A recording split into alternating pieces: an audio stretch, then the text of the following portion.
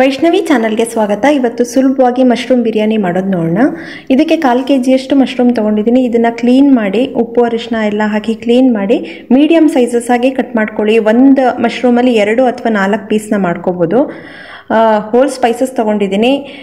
ಮತ್ತು ಕೊತ್ತಂಬರಿ ಸೊಪ್ಪು, ಪುದೀನ ತೊಗೊಂಡಿದ್ದೀನಿ. ಇದರಲ್ಲಿ ಚಕ್ಕೆ, ಲವಂಗ, ಏಲಕ್ಕಿ, ಹಾಗೆ ಕಲ್ಲುವು ಸೋಂಪಿದೆ.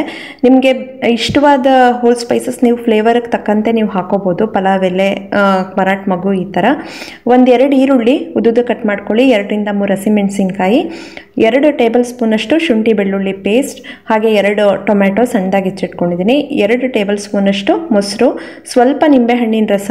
ಒಂದು ಕಾಲು ಭಾಗದಷ್ಟು ನಿಂಬೆಹಣ್ಣು ಹಾಕೊಂಡ್ರೆ ಸಾಕು. ತೀರ ಜಾಸ್ತಿ ಹಾಕೊಂಡ್ರೆ ಹುಳಿ ಬಂದ್ಬಿಡುತ್ತೆ.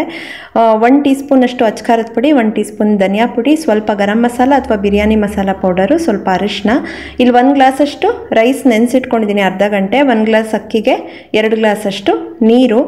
ರುಚಿಗೆ ತಕ್ಕಷ್ಟು ಉಪ್ಪು, ಎಣ್ಣೆ ಮೂರು ಟೇಬಲ್ ಸ್ಪೂನ್, ಜೊತೆಗೆ ತುಪ್ಪ ಒಂದು ಟೇಬಲ್ ಸ್ಪೂನಷ್ಟು ಈಗ ಮಾಡೋದು ನೋಡೋಣ. ಒಂದು ಕುಕ್ಕರ್ನಲ್ಲಿ ಎಣ್ಣೆ ತುಪ್ಪ ಎರಡನ್ನೂ ಬಿಸಿ ಮಾಡಿಬಿಟ್ಟು ಹೋಲ್ ಸ್ಪೈಸಸ್ ಹಾಕ್ತಾ ಇದ್ದೀನಿ.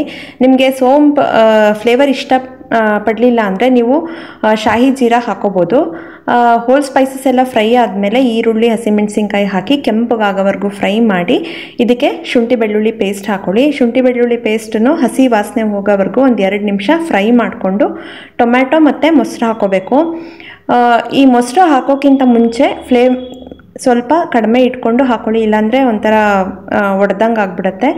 ಇದನ್ನು ಒಂದು ನಿಮಿಷನಾದ್ರು ಫ್ರೈ ಮಾಡ್ಕೋಬೇಕು. ಟೊಮೆಟೊ ಎಲ್ಲ ಸ್ವಲ್ಪ ಸಾಫ್ಟ್ ಆದಮೇಲೆ ಸ್ಪೈಸಸ್ ಹಾಕ್ಕೊಡಿ ಅಚ್ಕಾರದ ಪುಡಿ, ಧನಿಯಾ ಪುಡಿ, ಗರಂ ಮಸಾಲ, ಹಾಗೆ ಅರಿಶಿನ ಎಲ್ಲ ಹಾಕಿ ಎಣ್ಣೆ ಬಿಡೋವರೆಗೂ ಒಂದು ನಿಮಿಷ ಹುರ್ಕೋಬೇಕು. ಸಣ್ಣ ಉರಿನಲ್ಲೇ ಇಟ್ಕೊಂಡು ಈ ರೀತಿ ಎಣ್ಣೆ ಬಿಡೋವರೆಗೂ ಹುರ್ಕೊಂಡ್ಮೇಲೆ ಮಶ್ರೂಮ್ ಹಾಕೊಳ್ಳಿ. ಮಶ್ರೂಮ್ ಹಾಕಿದ ಕೂಡಲೇ ಉಪ್ಪು ಹಾಕೊಳ್ಳಿ. ಇದಕ್ಕೆ ಸ್ವಲ್ಪ ಕೊತ್ತಂಬರಿ ಸೊಪ್ಪು ಹಾಗೆ ಪುದೀನೂ ಹಾಕಿ ಮಿಕ್ಸ್ ಮಾಡ್ಕೋಬೇಕು. ಈ ಉಪ್ಪು ಮತ್ತು ಅರಿಶಿನದಲ್ಲಿ ಮಶ್ರೂಮ್ ಬೇಯಬೇಕು. ಇದು ನೀರು ಬಿಡುತ್ತೆ. ಉಪ್ಪು ಹಾಕಿದ್ಮೇಲೆ ಚೆನ್ನಾಗಿ ನೀರು ಬಿಟ್ಟು ಒಂದು ಎರಡರಿಂದ ಮೂರು ನಿಮಿಷನಾರು ಕುದಿಸ್ಕೋಬೇಕು ಮಶ್ರೂಮ್ನ ಅವಾಗೆ ಮಸಾಲೆ ಎಲ್ಲ ಚೆನ್ನಾಗಿ ಹಿಡಿಯುತ್ತೆ, ಇಲ್ಲಾಂದರೆ ಸಪ್ ಸಪ್ಪೆ ಆಗಿಬಿಡುತ್ತೆ ಮಶ್ರೂಮು ಈ ರೀತಿ ಒಂದು ಲಿಡ್ನ ಕ್ಲೋಸ್ ಮಾಡಾದ್ರೂ ಸರಿ ಒಂದು ಎರಡರಿಂದ ಮೂರು ನಿಮಿಷ ಬೇಯಿಸ್ಕೊಂಡಾದ್ಮೇಲೆ ಇದಕ್ಕೆ ಒಂದು ಕಡೆ ನೀರನ್ನ ಬಿಸಿ ಮಾಡೋಕ್ಕೆ ಇಟ್ಕೊಂಡಿರಿ. ಬೇಗ ಆಗೋಗುತ್ತೆ ಬಿರಿಯಾನಿ. ಸೊ ಕಾದಿರೋ ನೀರನ್ನ ಹಾಕ್ಕೊಳ್ಳಿ ಇದಕ್ಕೆ ಒಂದಕ್ಕೆ ಎರಡು ಗ್ಲಾಸಷ್ಟು ನೀರು ಹಾಕೋಬೇಕು, ಇಲ್ಲಾಂದರೆ ಕಾಳು ಕಾಳು ಆಗಿಬಿಡುತ್ತೆ. ಸೊ ಇದನ್ನು ಕುದಿಯೋಕ್ಕೆ ಬಿಡಿ. ಕುದಿಯುವಾಗ ಅಕ್ಕಿ ಹಾಕ್ಕೊಳ್ಳಿ ನಿಮಗೆ ಸ್ವಲ್ಪ ಫ್ಲೇವರ್ ಜಾಸ್ತಿ ಬೇಕಂದರೆ ಬಾಸುಮತಿ ರೈಸ್ ಆದರೂ ಸರಿ, ಅಥವಾ ಜೀರಿಗೆ, ಜೀರಾ ರೈಸ್ ಜೀರಿಗೆ ಸಾಂಬಾರ್ ರೈಸ್ ಅಂತಲೂ ಕರೀತಾರೆ, ಅದನ್ನಾದರೂ ಹಾಕೋಬೋದು.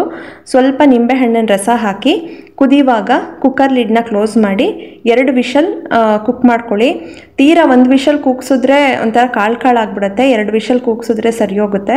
ನೀವು ಚಿಕನ್ ಬಿರಿಯಾನಿ ಎಲ್ಲ ಮಾಡುವಾಗ ಇದು ಕರಿ ಜಾಸ್ತಿ ಇರುತ್ತೆ, ಹಾಗಾಗಿ ಒಂದಕ್ಕೆ ಒಂದೂವರೆ ಗ್ಲಾಸಷ್ಟು ನೀರು ಹಾಕ್ತೀವಿ. ಇದರಲ್ಲಿ ಅಷ್ಟು ಗ್ರೇವಿ ಇರಲ್ಲ, ಹಾಗಾಗಿ ಒಂದಕ್ಕೆ ಎರಡು ಗ್ಲಾಸಷ್ಟು ನೀರು ಹಾಕೋಬೇಕು. ಸೊ ನೋಡಿ, ಎಷ್ಟು ಉದುದ್ರಾಗಾಗಿದೆ. ಮಶ್ರೂಮ್ ಕೂಡ ಚೆನ್ನಾಗಿ ಬೆಂದಿದೆ. ಈ ಬಿರಿಯಾನಿ ಜೊತೆಗೆ ನೀವು ರಾಯ್ತ ಕೂಡ ಮಾಡ್ಕೋಬೋದು, ಈರುಳ್ಳಿ, ಟೊಮೆಟೊ ರಾಯ್ತ, ಹಾಗೆ ಕಾಯಿ ಚಟ್ನಿ ಕೂಡ ತುಂಬಾ ಚೆನ್ನಾಗಿರುತ್ತೆ. ಬಿರಿಯಾನಿ ಗ್ರೇವಿ ಕೂಡ ಮಾಡ್ಕೋಬೋದು. ಸೊ ಈ ಸಿಂಪಲ್ ರೆಸಿಪಿ ನಿಮ್ಮೆಲ್ರಿಗೂ ಇಷ್ಟ ಆಗಿದ್ರೆ ಲೈಕ್ ಮಾಡಿ, ಶೇರ್ ಮಾಡಿ. ಮತ್ತಷ್ಟು ಈಸಿ ರೆಸಿಪೀಸ್ಗಾಗಿ ವೈಷ್ಣವಿ ಚಾನಲ್ಗೆ ಸಬ್ಸ್ಕ್ರೈಬ್ ಆಗೋದು ಮರಿಬೇಡಿ.